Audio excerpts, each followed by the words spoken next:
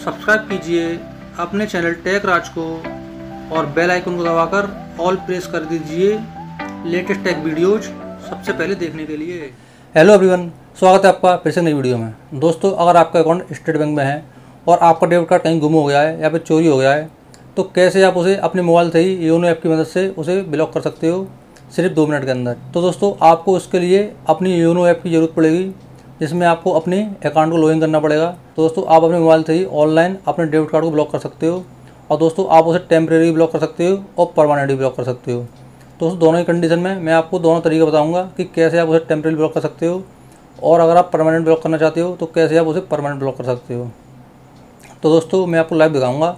उससे पहले आपसे एक रिक्वेस्ट है कि अभी तक आपने चैनल सब्सक्राइब नहीं किया है तो प्लीज़ इसे सब्सक्राइब कर लें और साथ में बेल आइकन दबा दें, जिससे मेरे आने वाली नई वीडियो नोटिफिकेशन आपको तुरंत से मिल सके। तो चलिए दोस्तों, वीडियो शुरू करते हैं और मैं आपको पूरा लाइव दिखाता हूँ। दोस्तों, सबसे पहले आपको अपने फ़ोन में योनो ऐप एप्लीकेशन ओपन करनी है। तो चलिए मैं आपको ओपन करके दिखाता हूँ। अब दोस्तों, जैसे आप ओपन करोगे तो यहाँ पे आपको लॉगिन करना पड़ेगा अपना आईडी और पासवर्ड डाल के। तो चलिए मैं पहले लॉगिन करता हूँ, फिर आपको दिखाता हूँ। दोस्तों, जैसे ही आपकी एप्लीकेशन ओपन हो जाएगी तो इस तरह का इंटरफेस आपके सामने आएगा। तो दोस्तों, सब, आपको आप क्या करना है? सबसे नीचे आना है। नीचे आने के बाद दोस्तों, यहाँ पे ऑप्शन आ रहा होगा सर्विस रिक्वेस्ट का। ये देखिए, ये वाला। आपको इस पर क्लिक करना है। यहाँ क्लिक करने के बाद दोस्तों, आपके सामने काफ़ी सारे ऑप्शन आ जाएँगे फिर से। तो दोस्तों, हमें अपना एटीएम कार्ड या डेबिट कार्ड ब्लॉक करना है। तो हमें जो आपको दिख रहा होगा ऊपर, इन चार ऑप्शन में से दूसरा वाला, आपको इस पर क्लिक करना है। यहाँ क्लिक करने के बाद दोस्तों, आपको अपना प्रोफ़ाइल पासवर्ड डालना है। तो चलिए दोस्तों, मैं अपना प्रोफ़ाइल पासवर्ड डाल देता हूँ, जो कि हमारा यूनो एप्लीकेशन होती है, उसे बनाते टाइम हमने जो पासवर्ड डाला था, प्रोफ़ाइल पासवर्ड वो हमें यहाँ पर डालना है। चलिए मैं डाल देता हूँ।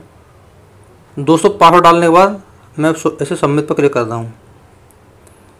अब देखिए दोस्तों, हमारे सामने डेबिट कार्ड से जुड़े हुए काफ़ी सारे ऑप्शन आ जाएँगे। जैसे कि पहला ऑप्शन आ रहा है ब्लॉक कार्ड का, दूसरा मैनेज कार्ड दोस्तों मैनेज कार्ड में आप अपनी लिमिट बढ़ा सकते हो, उसे कम कर सकते हो। और तीसरा दोस्तों रिक्वेस्ट न्यू रिप्लेसमेंट कार्ड का, यानी कि आप यहाँ से इस एप्लीकेशन की मदद से दोस्तों आप यहाँ से अपना नया डेबिट कार्ड अप्लाई भी कर सकते हो।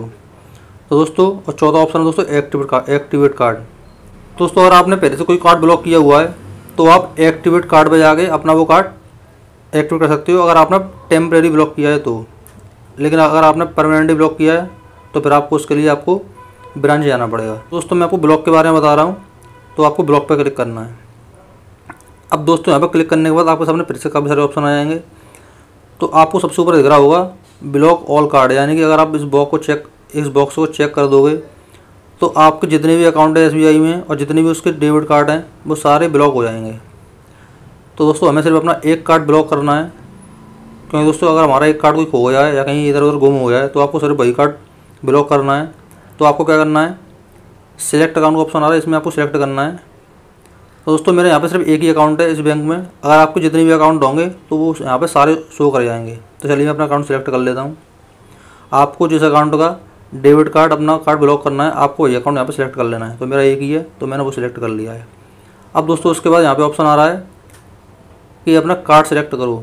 तो दोस्तों, मैं फिर से बता रहा हूँ कि मेरा इस अकाउंट में एक ही कार्ड है। अगर आपका इस अकाउंट में एक से ज़्यादा कार्ड है, दो या तीन कार्ड है तो वो यहाँ पर सारे शो करने लगेंगे। तो दोस्तों, आपको ब्लॉक करते टाइम ध्यान देना है कि जिस कार्ड को ब्लॉक कर रहे हो वो कार्ड वही होना चाहिए जिसे आप ब्लॉक करना चाहते हो।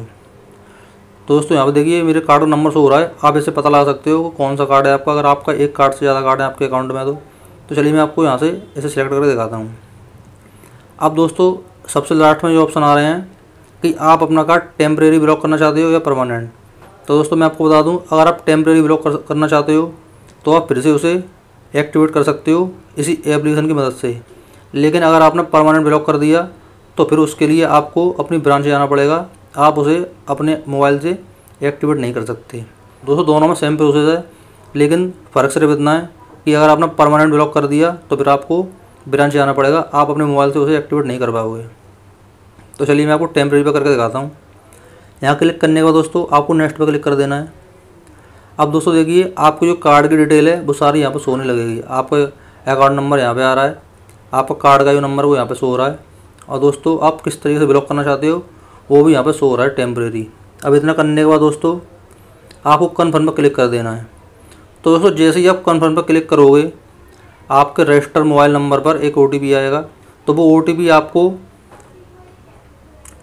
दोस्तों यहाँ पर डालना है। इंटर ओ टी पी यहाँ पर डालना है। जब वो ओ यहाँ पर डाल के आप सबमिट पर क्लिक कर दोगे तो दोस्तों आपका डेबिट कार्ड है टेम्प्रेरी ब्लॉक हो जाएगा। और दोस्तों अगर आप परमानेंट करना चाहते हो, तब भी आपको सेम यही प्रोसेस करना है। उसमें भी दोस्तों सेम कंडीशन है, आपको फिर भी यहाँ पे ओ डालना पड़ेगा। और दोस्तों अगर बाई चांस अगर आपका जो रजिस्टर मोबाइल नंबर है, आपके पास नहीं है, या वो फ़िलहाल बंद पड़ा हुआ है तो दोस्तों आपने जो ई एम अपने अकाउंट में लगाई थी, उस पर भी ओ आता है तो आप वहाँ से भी अपना ओ टी पी यहाँ पर डाल सकते हो। क्योंकि दोस्तों जब आप कार्ड ब्लॉक करोगे या एक्टिवेट करोगे तो दोस्तों बैंक की तरफ़ से आपके मोबाइल नंबर पर और आपकी ईमेल आईडी पर दोनों पर एक साथ ओ जाता है सेम ओटीपी तो अगर आपके पास मोबाइल नंबर नहीं है, रजिस्टर वाला, वो बंद पड़ा हुआ है तो आप ईमेल आईडी से भी अपना ओ कॉपी करके यहाँ पर पेस्ट करके उसे सबमिट कर सकते हो।